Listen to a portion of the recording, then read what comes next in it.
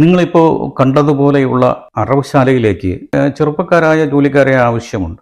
അത് വയനാട് പൂക്കോട്ട് വെറ്റിനറി കോളേജിലെ വിദ്യാർത്ഥികളും എസ് എഫ് ഐക്കാർക്കും മുൻഗണന. ഇക്കൂട്ടർ ഈ വെറ്റിനറി കോളേജിൽ പഠിച്ചത് മൃഗസംരക്ഷണവും മൃഗ മൃഗചികിത്സയൊന്നും അല്ലല്ലോ. കശാപ്പ് തന്നെ അല്ലേ അവിടെ പഠിച്ചത്. അത് ഇത്ര വളരെ ഭംഗിയായിട്ട് അവർക്ക് ചെയ്യാൻ കഴിയും എന്ന് കേരളത്തിലെ ജനങ്ങൾക്കും ബോധ്യപ്പെട്ടിട്ടുണ്ട്. ഇന്ന് സിദ്ധാർത്ഥിന്റെ ആ കോളേജിൽ പഠിച്ചിരുന്ന സിദ്ധാർത്ഥിന്റെ മരണവുമായി ബന്ധപ്പെട്ട് എല്ലാ മാധ്യമങ്ങളും കൃത്യമായിട്ട് പല റിപ്പോർട്ടുകളും പല ന്യൂസുകളും ഇപ്പോൾ പുറത്തു വിട്ടുകൊണ്ടിരിക്കുകയാണ്. എങ്കിലും എന്റെ അഭിപ്രായം പറയാൻ ഞാൻ തന്നെ പറയണ്ടേ? ഇന്ന് മൊമെൻസിന്റെ വീഡിയോ അതിനുവേണ്ടി മാത്രമുള്ളതാണ്. എല്ലാവർക്കും സ്വാഗതം. നമ്മുടെ വിദ്യാർത്ഥികൾ ഗുണ്ടകളാകുന്ന ആരാച്ചർമാരാകുന്ന ഒരുപാട് സംഭവങ്ങളാണ് നിരന്തരം നമ്മുടെ കേരളത്തിൽ നടന്നുകൊണ്ടിരിക്കുന്നത്. എങ്കിലും ഈ സിദ്ധാർത്ഥന്റെ ഈ ഒരു കൊലപാതകത്തെക്കുറിച്ച് കേട്ടപ്പോൾ സത്യം പറഞ്ഞാൽ ഈ നമ്മുടെ ഹൃദയമൊക്കെ ഇങ്ങനെ മരവിച്ച് നിൽക്കുന്നത് പോലെ ആയിപ്പോയി. ഈ ഒരു ചെറുപ്പക്കാരനോട് അവരുടെ സഹപാഠിയായ ഈ വിദ്യാർത്ഥിയോട് മറ്റു വിദ്യാർത്ഥി കൂട്ടങ്ങൾക്ക് മറ്റ് സഹപാഠികൾക്ക് ഇത്രയും ഒരു ക്രൂരത ഈ ചെറുപ്പക്കാരനോട് ചെയ്യാൻ എങ്ങനെ കഴിഞ്ഞു എന്ന് ആലോചിക്കുമ്പോഴാണ് നമ്മുടെ മനസാക്ഷിയൊക്കെ ഞെട്ടിപ്പോകുന്നത്. ഇത് കേൾക്കുമ്പോൾ കേരള മനസാക്ഷിയെ ഒന്നാകെ ഞെട്ടണം എന്നൊന്നും ഞാൻ പറയില്ല. എങ്കിലും നിങ്ങളിതൊക്കെ തിരിച്ചറിയണം. ഈ വിദ്യാർത്ഥി ഗുണ്ടകളെ സംരക്ഷിക്കുന്ന ആരായിരുന്നാലും ഏത് കക്ഷികളായിരുന്നു ഏത് പാർട്ടി ആയിരുന്നാലും അവരെ ഒറ്റപ്പെടുത്തുക തന്നെ ചെയ്യണം. ഒരു രാഷ്ട്രീയ നേതാക്കളുടെ മക്കൾക്കും ഇങ്ങനെ ഒരു ഗതി വരുന്നത് നമുക്കറിയില്ലല്ലോ. എങ്കിലും ഈ ഭരണത്തിന്റെ സ്ഥിരാകേന്ദ്രങ്ങളിലൊക്കെ അവസാനം എത്തിപ്പെടുന്നതും ഈ നേതാക്കളുടെ മക്കളൊക്കെ തന്നെയാണ്.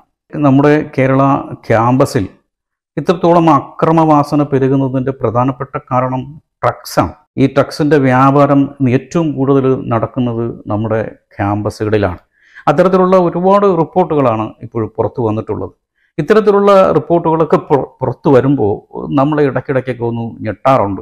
പക്ഷേ അമുട്ട് പൊട്ടുന്നത് പോലെ ഞെട്ടിയത് ഈ ഡ്രഗ്സ് മാഫിയയുടെ പിന്നാമ്പുറങ്ങളിൽ പ്രവർത്തിക്കുന്നത് നമ്മുടെ പ്രധാനപ്പെട്ട രാഷ്ട്രീയ പാർട്ടികളിലെ ചില നേതാക്കളും സഖാക്കളുമാണ് എന്നറിഞ്ഞപ്പോഴാണ്. നമ്മുടെ മന്ത്രി ചിഞ്ചൂറാണി പറഞ്ഞത് സിദ്ധാർത്ഥിന്റെ കുടുംബം ആവശ്യപ്പെടുന്ന തരത്തിലുള്ള ഒരു അന്വേഷണം നടത്താനായിട്ട് ഗവൺമെന്റിന്റെ എല്ലാ സഹായങ്ങളും ഉണ്ടാകും എന്നാണ്. നമ്മുടെ മുഖ്യമന്ത്രി ഈ കേസിനെ കുറിച്ച് അന്വേഷിക്കാൻ ഒരു പ്രത്യേക ടീമിനെ തന്നെ നിയോഗിച്ചു കഴിഞ്ഞു. ഇങ്ങനെ ചെയ്യാതെ വേറെ നിവൃത്തിയില്ലല്ലോ. ഇങ്ങനെയെങ്കിലും ചെയ്യാതെ അവർക്ക് വേറെ നിവൃത്തിയില്ലല്ലോ. കാരണം ലോക്സഭാ ഇലക്ഷൻ അടുത്തു വരികയല്ലേ. അതല്ലെങ്കിൽ ജനാധിപത്യ രീതിയിൽ പ്രതിഷേധിച്ചവരെ ചെടിച്ചട്ടിക്കും ഹെൽമെറ്റിനും കൊണ്ട് അടിച്ചതിനെ ഒരു രക്ഷാപ്രവർത്തനമായിരുന്നു എന്ന് പറഞ്ഞ മുഖ്യമന്ത്രിയിൽ നിന്ന് നമുക്ക് മറ്റൊന്നും പ്രതീക്ഷിക്കാൻ കഴിയില്ലല്ലോ. അഡ്വക്കേറ്റ് അഭിലാഷ് പറഞ്ഞതുപോലെ സിദ്ധാർത്ഥിന്റെ അച്ഛനും അമ്മയ്ക്കും തന്റെ സ്വന്തം മകൻ നഷ്ടപ്പെട്ടു എന്നതിനപ്പുറം ഇവിടെ ഒന്നും നടക്കാൻ പോകുന്നില്ല. നൂറ്റി അൻപതോളം വരുന്ന ഒരു വിദ്യാർത്ഥി കൂട്ടത്തിന്റെ മുൻപിലിട്ടാണ് അവരുടെ സഹപാഠിയ കൂടിയായ ആ പാവം ചെറുപ്പക്കാരനെ തല്ലിക്കൊന്നത്.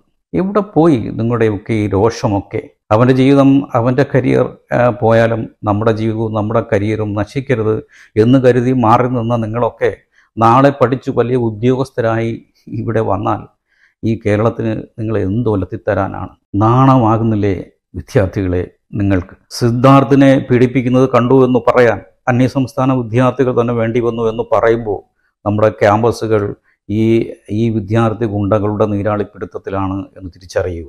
ഇപ്പോൾ റിലേ സത്യാഗ്രഹം എന്ന ഉടായ്പുമായിട്ട് ഇറങ്ങിയിരിക്കുകയാണ് ചില രാഷ്ട്രീയ കക്ഷികളിലെ ചില വിദ്യാർത്ഥി സംഘടനകൾ.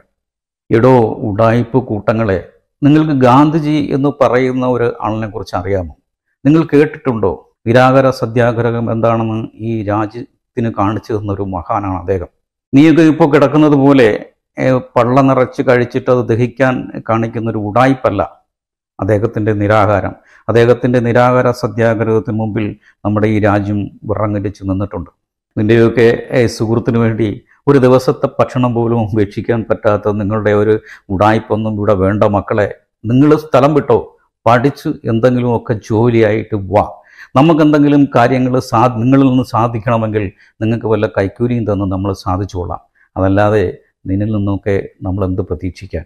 വോട്ട് ഇന്ന് സി പി എമ്മിന് നാളെ കോൺഗ്രസിന് അല്ല സോറി വോട്ട് ഇന്ന് അരിവാൾ ചുറ്റിക്ക് നക്ഷത്രത്തിന് നാളെ കൈപ്പത്തിക്ക് അതല്ലെങ്കിൽ താമരയ്ക്ക്. ഇതൊക്കെ ഇവിടെ കൂടുതൽ വെണ്ടയ്ക്ക കിട്ടുന്നവൻ നമ്മുടെ രാജ്യം ഭരിക്കും. അതല്ലാതെ നിങ്ങൾ നിങ്ങളെല്ലാവരും കൂടി ചേർന്ന് നമുക്കെന്തോ ഒലത്തി തന്നിട്ടാണ് നമ്മൾ ഇങ്ങനെയൊക്കെ ചെയ്യുന്നത് എന്ന് നിങ്ങൾ തെറ്റിദ്ധരിക്കരുത്.